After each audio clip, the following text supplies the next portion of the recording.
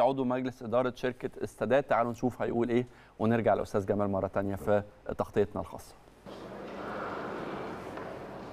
مستمرين معاكم مشاهدينا مشاهدي قناة النادي الأهلي في كل مكان. ومعانا زي ما قلت يا كابتن أحمد آه، الأستاذ محمد منشاوي عضو مجلس إدارة استادات الوطنية. هنا من حفل أو بعد انتهاء حفل آه، تدشين بروتوكول آه، شراكة ما بين شركة استادات الوطنية والبريد المصري. برحب بحضرتك معانا على شاشة قناة النادي الأهلي. أهلا وسهلا يا فندم. في البداية كلم كلمنا عن آه، الشراكة وإزاي جت الفكرة وأهداف آه، ال- الشراكة.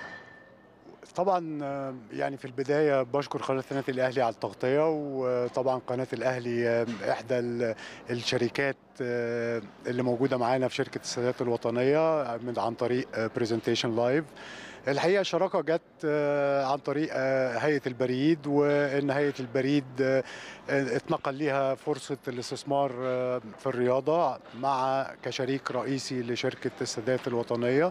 وزي ما قال المهندس سيف آه، المفاوضات بقى لها أكتر من 10 شهور وانتهت بتوقيع البروتوكول وإعلان الشراكة. أهداف الشراكة الحقيقة محورين.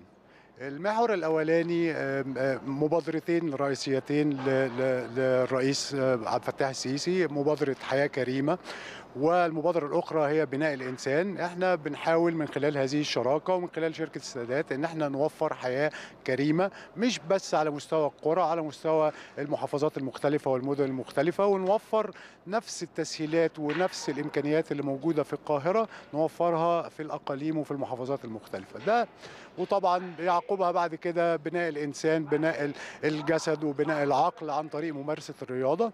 ده محور أساسي آه، للشراكة. المحور الثاني هي صناعة الرياضة. يعني يمكن الشراكة دي شراكة آه، استراتيجية استثمارية. إحنا بنهدف منها إن شاء الله بإذن الله إن شركة السادات الوطنية بالتعاون مع البريد المصري نبتدي في ما يسمى بصناعة الرياضة وإن الرياضة تبقى جزء من الناتج القومي المحلي وتساهم في زيادة الناتج القومي المحلي لمصر بإذن الله. بشكر حضرتك جدا نورتنا في قناة النادي الأهلي. شكرا لحضرتك. ميرسي يا فندم. شكرا جزيلا. طبعا ده كان لقائنا زي ما كنتوا معانا ومتابعينا مع أستاذ محمد المنشاوي عضو مجلس إدارة آه، آه، مجلس إدارة استادات الوطنية. شكرا لكم جدا وعوده إلى الاستوديو. شكرا